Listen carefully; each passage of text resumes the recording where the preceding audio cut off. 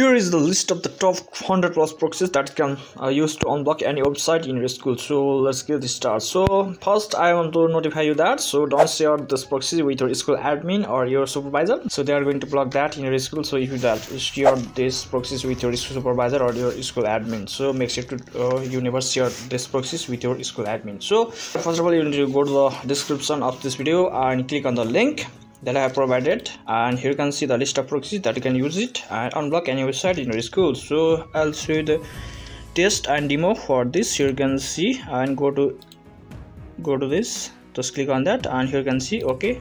And here you need to type your website that you like unblock. So I'm going to unblock discord then hit enter after you type the url then wait for it to load here you can see boom here you can see the discord is successfully unblocked and you can use other proxies as well here you can see and here you can see the list.